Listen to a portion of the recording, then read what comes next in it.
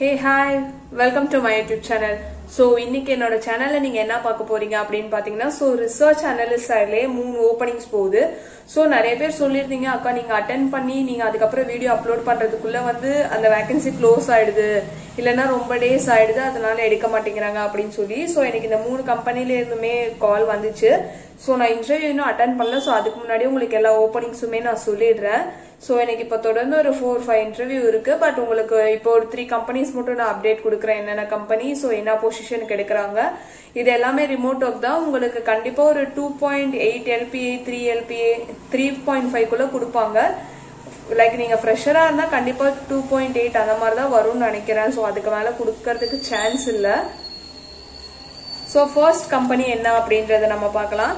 Search gate partner அப்படின்றத கம்பெனியோட name so நிறைய பேர் கேட்டிருந்தீங்க. அக்கா இஎஸ்ஜி ரிசர்ச் அனலிஸ்ட்டுக்கு வந்து லைக் வேகன்சி இருந்தால் சொல்லுங்க அப்படின்னு சொல்லி. ஸோ சர்ச் கேட் பார்ட்னர் அப்படின்ற கம்பெனி வந்து இஎஸ்ஜி ரிசர்ச் அனலிஸ்ட்டுக்கு தான் ஹையர் பண்றாங்க. ஃப்ரெஷரை தான் மோஸ்ட்லி ஹையர் பண்ற மாதிரி இவங்க போட்டிருக்காங்க. ஸோ இதுக்கு என்னென்ன ஸ்கில்ஸ் லைக் என்ன தேவை அப்படின்றத நான் சொல்லிக்கிறேன்.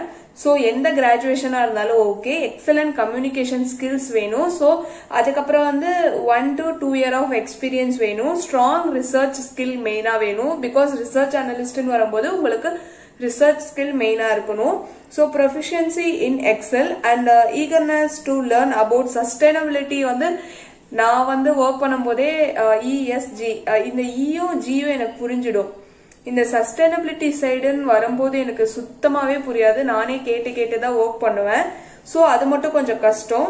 அதுக்கப்புறம் இமிடியட் ஸ்டார்டர் லைக் இமிடியட்டா ஜாயின் பண்ற கேண்டிடேட்ஸ் தான் அவங்க வந்து பாக்குறாங்க. இது வந்து ஒரு சிக்ஸ் மந்த் கான்ட்ராக்ட் மாதிரி இருக்கும். ஸோ இந்த சிக்ஸ் மந்த் கான்ட்ராக்ட்ல நீங்க நல்லா பெர்ஃபார்ம் பண்ணீங்க அப்படின்னா ஃபுல் டைம் ஆஃபர் இவங்க உங்களுக்கு கொடுக்குறாங்க. ஸோ இது வந்து பாத்தீங்கன்னா ரிமோட் ஆப்பர்ச்சுனிட்டி தான். ஸோ செகண்ட் என்ன அப்படின்னு பாத்தீங்கன்னா ஃபிண்டம் அப்படின்ற ஒரு கம்பெனி இவங்க என்ன பொசிஷனுக்கு எடுக்கிறாங்க அப்படின்னு பாத்தீங்கன்னா ரிசர்ச்சர் டேட்டா ஆப்ரேஷன் அப்படின்ற ஒரு ரோலுக்கு தான் ஹையர் பண்றாங்க. இது வந்து ஃபுல் டைம் ஆப்பர்ச்சுனிட்டி உங்களுக்கு வந்து ரிமோட் ஒர்க் தான். இதுக்கான எக்ஸ்பீரியன்ஸ் பாத்தீங்கன்னா one to two year of experience இந்த டேட்டா ரிசர்ச்ல தான் வேணும். So intermediate skill of MS Excel formulas macros so இதுலலாம் இன்டர்மீடியட்டா ஒரு ஸ்கில்ஸ் இருந்தா போதும். அதுக்கப்புறம் eagerness to learn about the product and industry of your customer business so learn பண்றதுக்கு ஒரு லைக் என்ன சொல்றது?